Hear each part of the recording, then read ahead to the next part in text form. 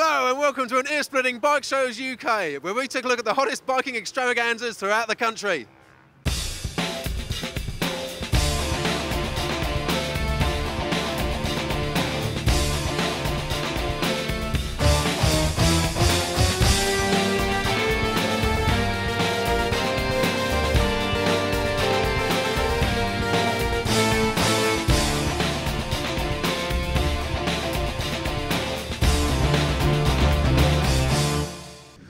I'm Stu Evans, and this week's Bike Shows UK comes to you from sunny Mallory Park in the glorious county of Leicestershire. We're at the post TT races. The difference between this show and some of the others is that not only do you see loads and loads of lovely concours machines, we're going to meet some really major racing heroes, and there's going to be some top class racing too. Come on, let's have a look at it.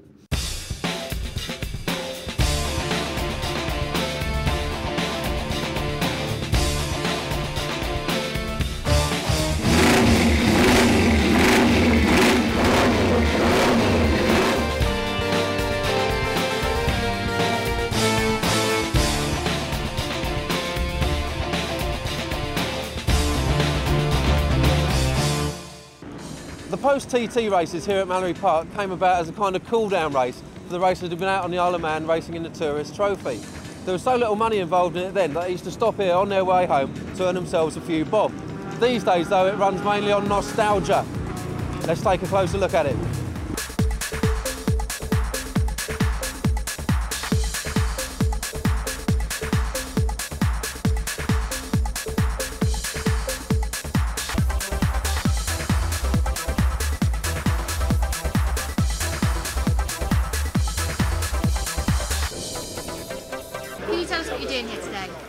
Purely spectating, taking in the atmosphere.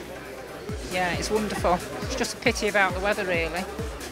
But uh, doesn't change the noises. Uh, I'm here sort of to enjoy the nostalgia and bring back all these memories and hear these wonderful noises and all these exotic bikes and see the riders of yesteryear, as it were. It's a great uh, attraction and thoroughly enjoyable by everybody, I think. And to see these bikes and the, hear these noises is tremendous.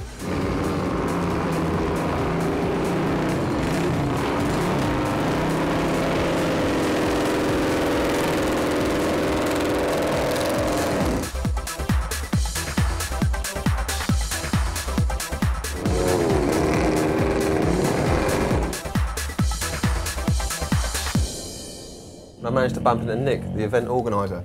Nick, what will the thousands of punters who are coming here today see? Right, the actual when they actually come in today, they'll see um, over 70 auto jumble plots. We've sort of increased on what there was last year. We've got club stands, we've got trade stands. Um, down in the actual bottom area of the field, um, you know, we've got the MV club, um, people like that.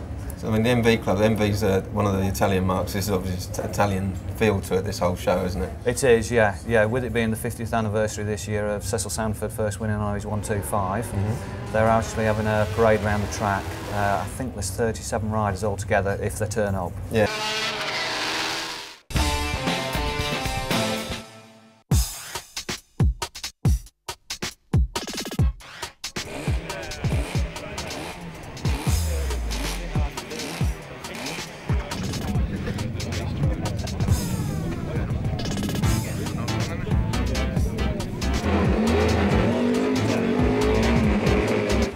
Jim Redman stand. I dare say that's just a small part of the uh, trophy collection that guy's got.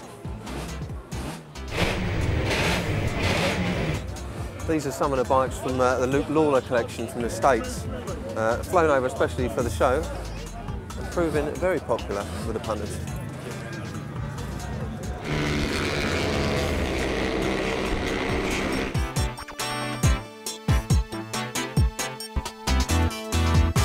They're about to fire this thing up. So uh, mind your ears.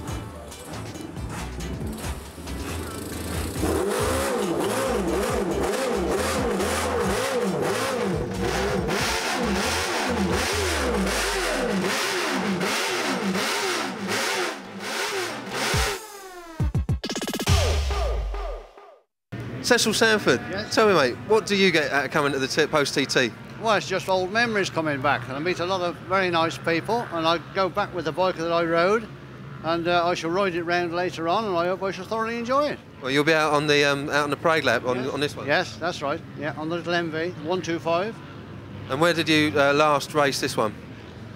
I last raced this one in about uh, 54, probably in Holland. Outstanding. Thanks very much.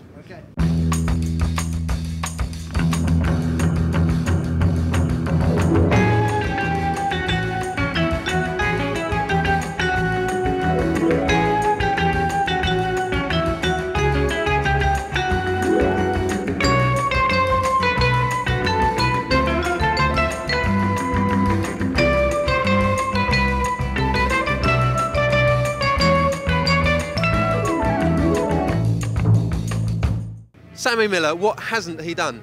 Sammy, meeting a load of old friends here today. Oh, it's great to be here again at Mallory Park and uh, great collection of classic racing bikes and um, some bikes out of the museum here. We've got the 16 valve MV, which is quite unique. I'm riding the Gilera too, the four cylinder Gilera, so it'll be really good to get out there and have a circuit. So you- you're not entering yourself into the race today for the prize money. Oh well, let it to, leave it to the younger boys, you know. We'll just do the parading today. Excellent. Cheers, Sammy. Cheers, all the best. Each week, we meet a local biker who's going to take us on a whistle stop tour of the local biking area. And this week, we have surpassed even ourselves. We have got a really good bloke. And remember, thrill seekers, that the louder you scream, the faster we go. So hold on tight.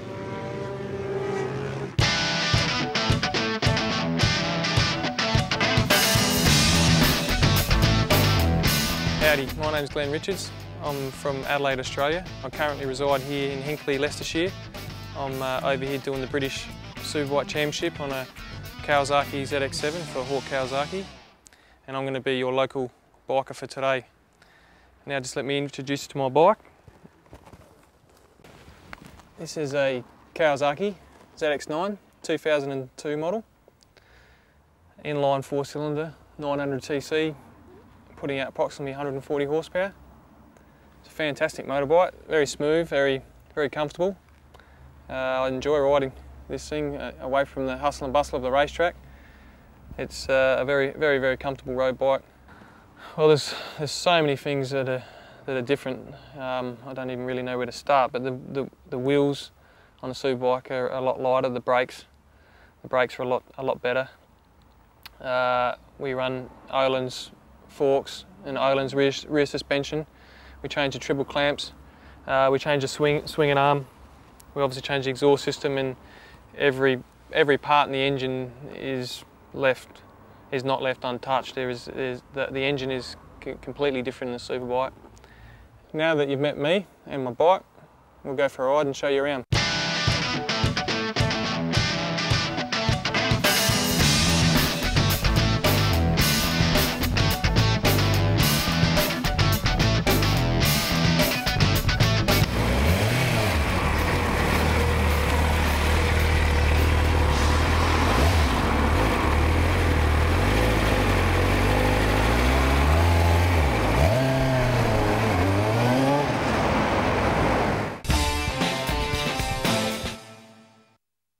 Just racing of the two-wheeled kind featured today. Check out these vintage and classic sidecars.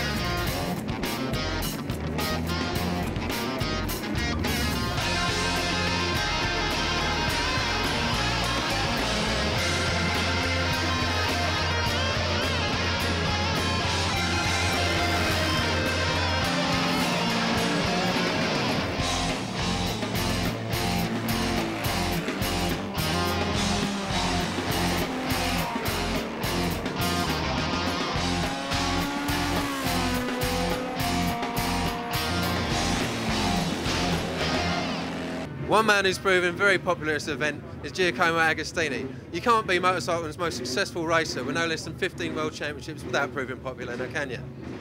Ago, this bike that you've got behind us, this is one you're going to be taking out later on, isn't it?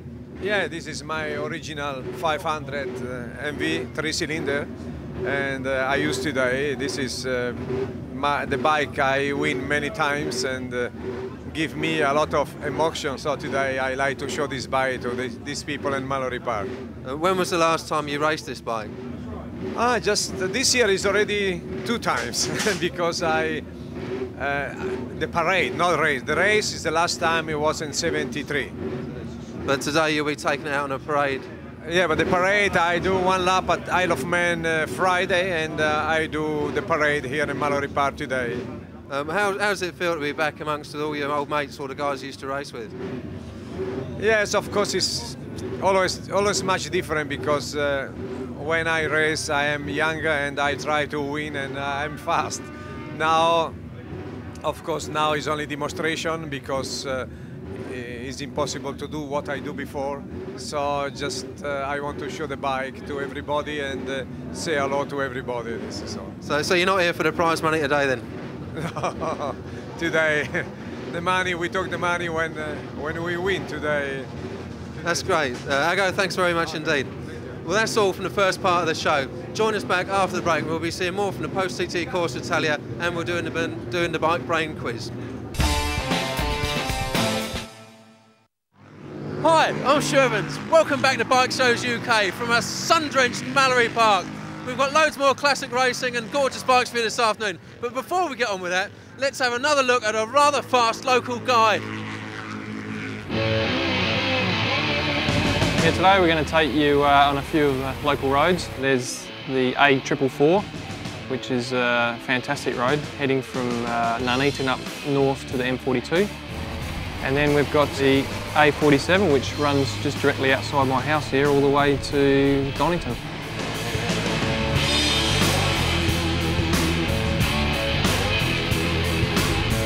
Yes, there's two, two pubs I want to show you guys today. One is in Stoke Golding called the Three Horseshoes, which is a local bikers pub and the walls are filled with memorabilia from past and present riders. So a very interesting little pub to have a bit of a look at. And we're also going to have a look at the Royal Arms, which is very, very close to Mallory Park. And uh, there's a very good meal there and, and some very good accommodation.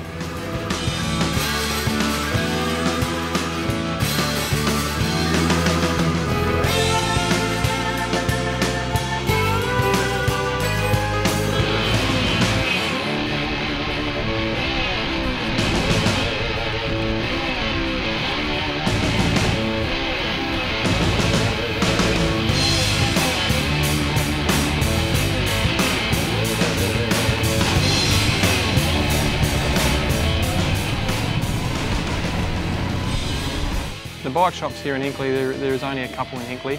Uh, it's not that easy to get parts, but there is the Hinckley uh, Motorcycle and Scooter Centre in town and Drayton Croft.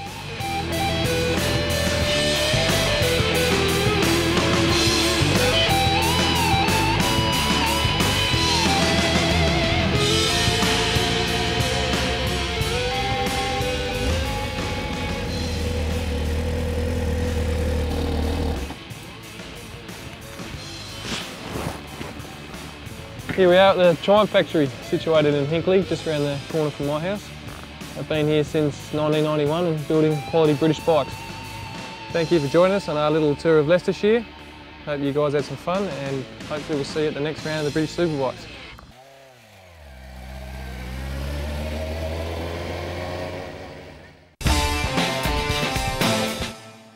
Okay, pin back your ears and listen.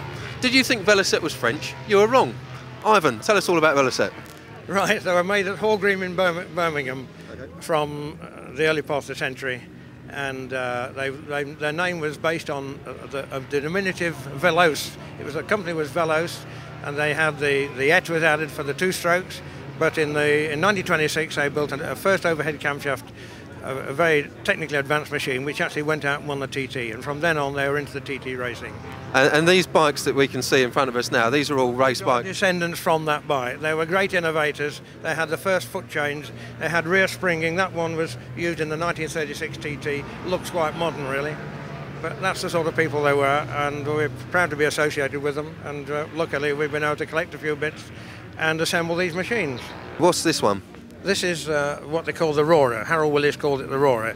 It's not particularly noisy, but it's a supercharged shaft-driven twin with contra-rotating cranks.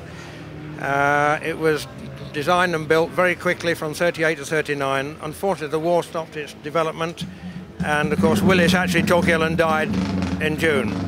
Do you race the thing? I mean, or do on parades? It's not raceable, but it's, it's, it's used for parades.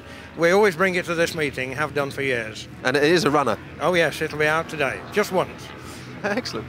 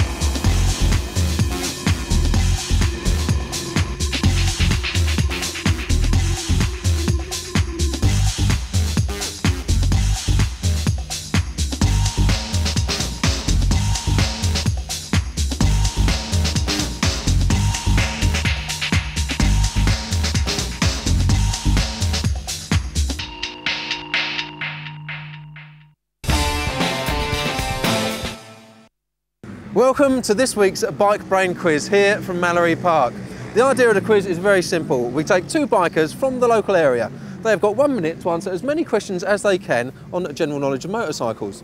The winners at the end of the series win a Yamaha Race School track day at a track of their choice. Exciting stuff, I think you'll agree.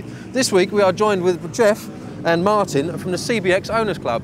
You know the rules, guys? Are you ready? Okay. Then let's begin.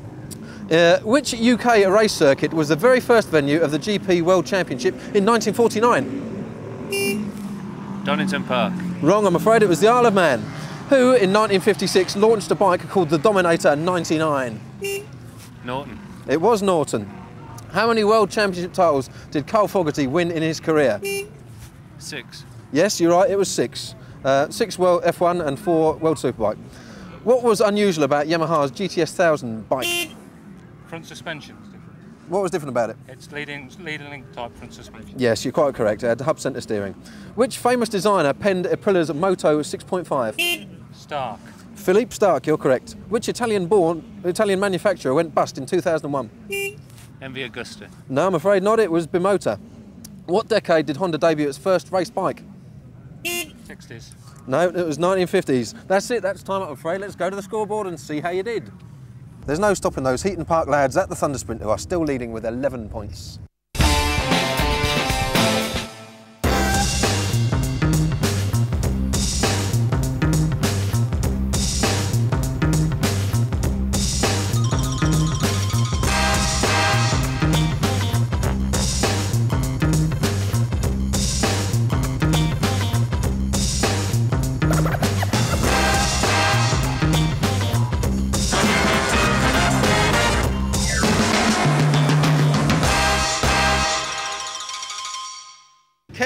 Ken, t- Ken, what have you got here?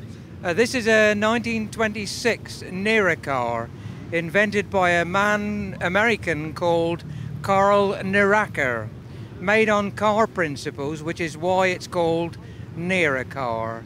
Okay, so what is obviously the engine is exposed. So point us out a few things that are different in this to a conventional modern motorcycle, Ken. Well, there's a couple of things. First of all, it's a 285cc two-stroke engine. It's set along the frame so that it's got friction drive rather than a normal clutch and gearbox. What happens is that the pulley is allowed to move into by the left hand twist grip, move into the flywheel at that point, and that gives you drive when the engine is running. When you're on the move, I'll just take it out of gear. You then move the ratio by this lever, and it moves that that pulley out, which gives you a higher ratio. That's fairly simply how it works. It also has unusual hub center steering on the front wheel. So Yamaha's GTS 1000 weren't the first for that after all then? They certainly weren't. Cheers, Ken. Now, this bit of things looks like a normal Hayabusa. Stand back and have a slightly better look, my friend, and you'll discover one or two minor modifications. The man responsible for modifications such as these is Jim. Jim, tell us what you've done to this here booster. Well, the main modification we've done on this, the wheels take up the extra power we're putting through and stresses we're putting through the bike. The leading link forks across the front here and the main subframe all in behind the fairing. We've got link brakes to the sidecar and uh, massive, massive modifications to the, the suspension. Well, what sort of person do you expect to sell this to? We've done all sorts of people have been buying these, older and younger people. Anybody that just enjoys terrific fun. And uh, how do they go? Very fast, very quick indeed. They're tremendous. 160 mile an hour in the sidecar can be fun. So there you have it. If you want to take your shopping home in style at 160 mile an hour and you've got 13,500 pounds burning a hole in your pocket, perhaps this is the baby for you.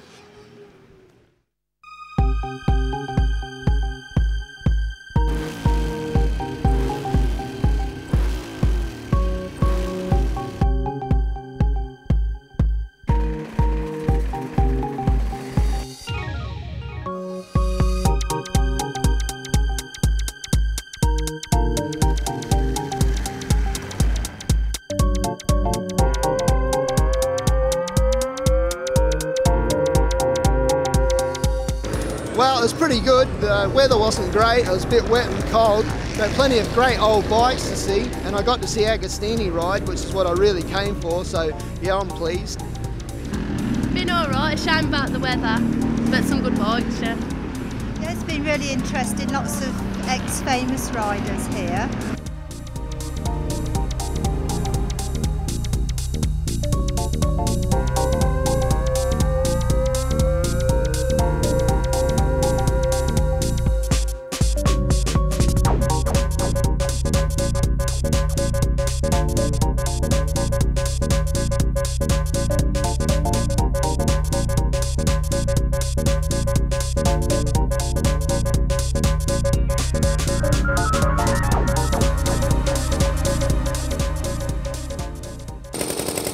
This week from Mallory Park, and I've managed to pick up my own classic bike. What do you think of this beauty?